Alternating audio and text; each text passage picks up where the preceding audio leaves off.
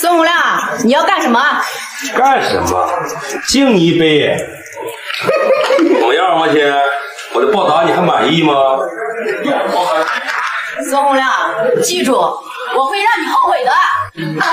大家好，我是李木子。视频中这个女孩就是我们视频的主人公，她是这家公司的董事长。这天，董事长让秘书去给她准备好衣服，她一会要去下工地。这样的老板现在是不是不多了？什么都要亲力亲为的。这不，镜头一转，秘书就已经和董事长在工地上视察的差不多了。董事长的手机响，原来是同学打来的电话，告诉董事长下午的时候有个同学聚会，询问董事长能不能来参加。董事长一听，这一定要来参加的呀！同学这么多年没有见面，很是想念啊。问好聚会的时间和地址，董事长开始准备往那边去，但是秘书却把董事长拦下，询问董事长要不要换一身衣服再去，穿成这样去参加聚会会被人瞧不起的。但是此时的董事长可不这样认为，他感觉都是同学，没有外人，不用换衣服。说着就和秘书一起来到了酒店。董事长是怀着无比激动的心情来参加聚会的。中途，董事长接到他那个不成器的哥哥又要问董事长要钱，董事长很是无奈，上个星期刚给了哥哥十 W，这又要钱。这不，董事长谎称公司破产，没有钱给他了。就是这句话被有心的同学听去了，他真的以为董事长破产，连忙把这个消息给同学们说。没告诉他们一声。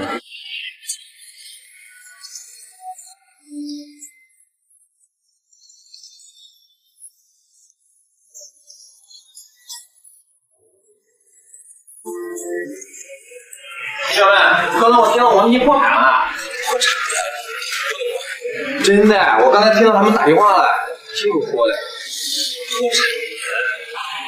我想合作个项目，这样同学们你们先吃，准备整个。董事长，那你先进去，我去下洗手间。啊，去吧。好的，董事长。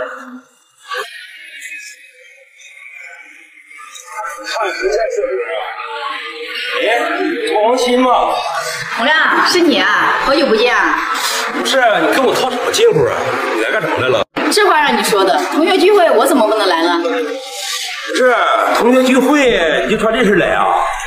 上学时候你都追过我，你穿这身，你不嫌丢人，我还嫌丢人呢。洪亮，董事长很是无奈，这同学怎么都变成这个样子，还学会以貌取人了。嚣张男同学嘲笑董事长：“什么叫以貌取人？你知道今天来的都是些什么人吗？那都是上流社会的人。就你穿的这个衣服，根本就不配站在这里。”屏幕前的老铁，你们会来参加这种同学聚会吗？反正求着小编，我都不会去参加。这赤裸裸的就是狗眼看人低啊！嚣张男同学警告董事长：“不要说他们是同学，他可丢不起那个人。既然你不欢迎董事长，就不用再和你过多的废话了。”董事长就要去找别的同学，可谁知嚣张男同学不让董事长去找其他的同学，董事长就是不服气，就是要进去。此时嚣张男又开始为难董事长了，嘲笑董事长是不是想进去找同学去乞讨去了。董事长很是无语的笑了笑，接着嚣张男同学在口袋里拿出两毛钱，说是可怜可怜董事长，让董事长拿了钱赶紧的走吧。这时秘书过来了，董事长转身就和秘书一起进去了。一进门，董事长热情的打招呼，但是他的热情真的能换同学们的真心吗？今天这个聚会可热闹了，董事长的前男友来了，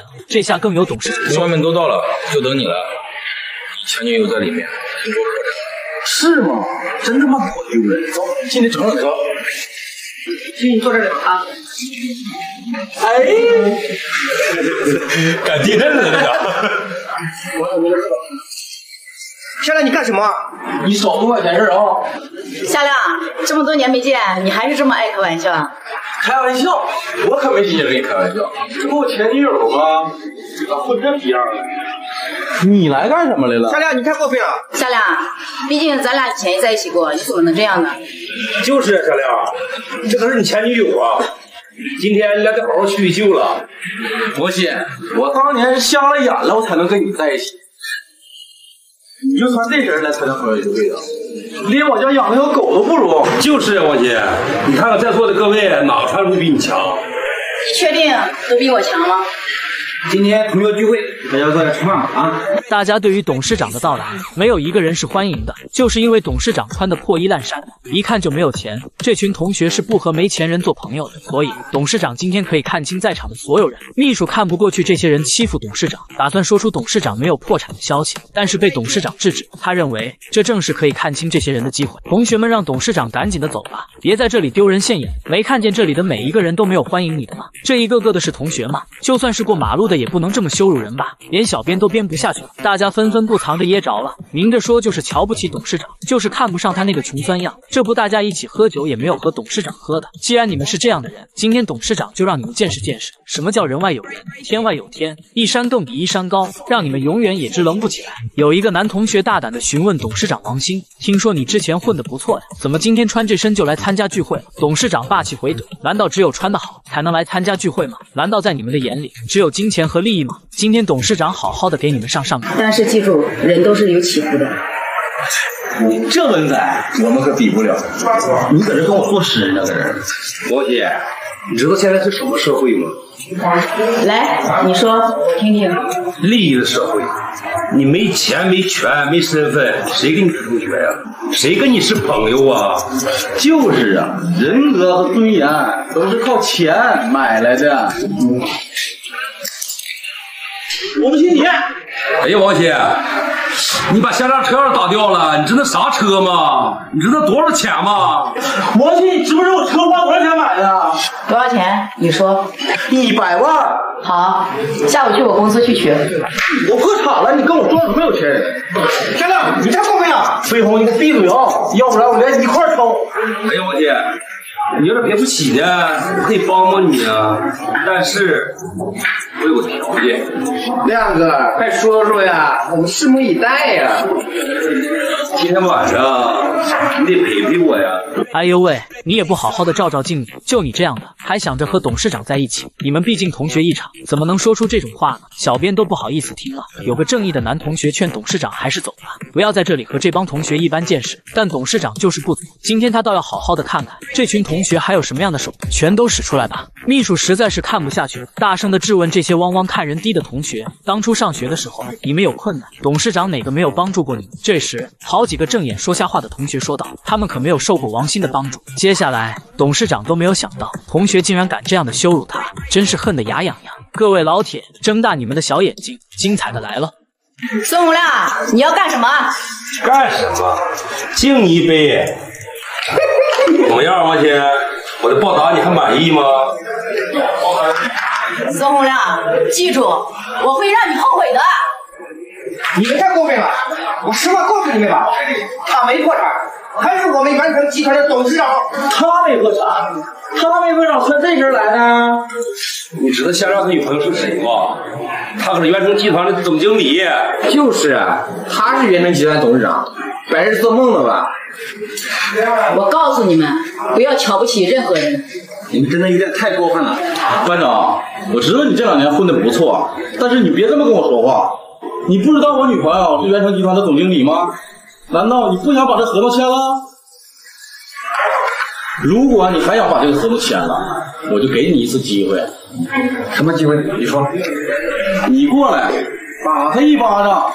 明天我就跟我媳妇说，保证就给你把合同签了。这个唯一一个帮助董事长说话的同学，他真的会为了利益去动手打董事长吗？同学们纷纷起哄，让他抓紧机会。现在生意多难干啊，赚钱可没有那么容易。嚣张男威胁他，要是再考虑一会，他就要变卦了。要是不合作，你们公司就完了。男同学站了起来，他已经做好了决定。原来在这个世界上，真的有钱能使鬼推磨，钱能干到一切。董事长再一次问道：“真的要动手？你以为动手他就能把合同给你签了吗？”最后，男子还是为了。钱动手，对不起，他们都比你强。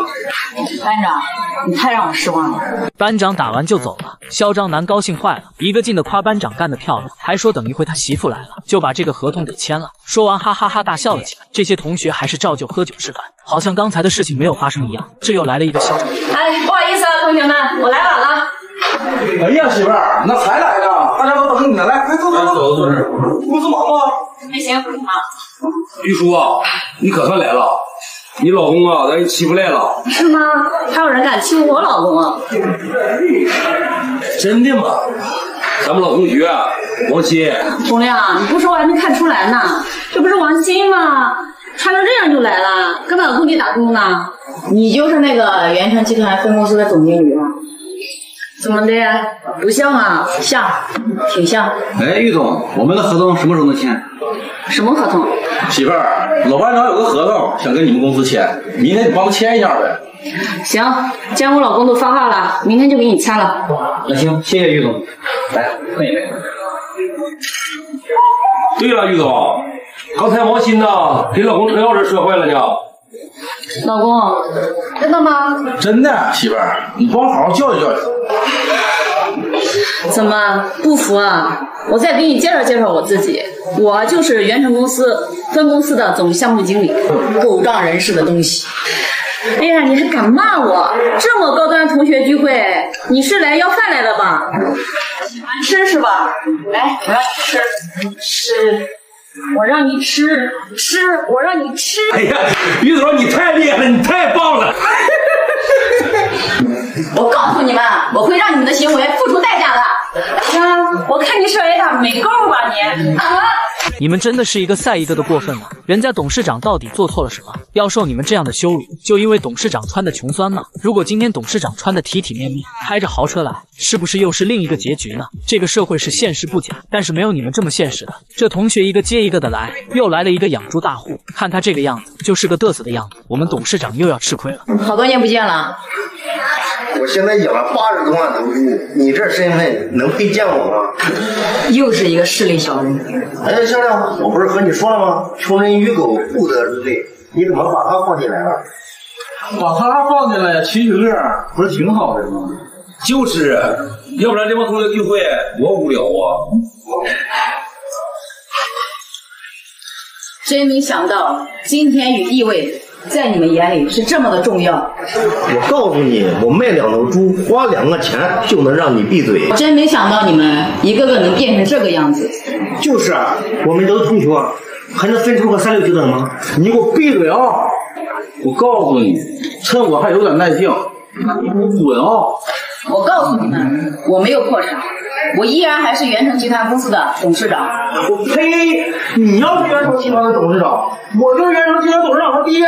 谢红，董事长，马上给人事部经理打电话，把玉书给我开了。今天我就告诉你们，什么叫做人不可貌相。哎呀，你这装的挺像啊！我告诉你，做人不要太猖狂，低调做人，高调做事。你被开除了。喂，人事部吗？我是费鹏，把分公司的秘书开了。来接电话。下去一个是一二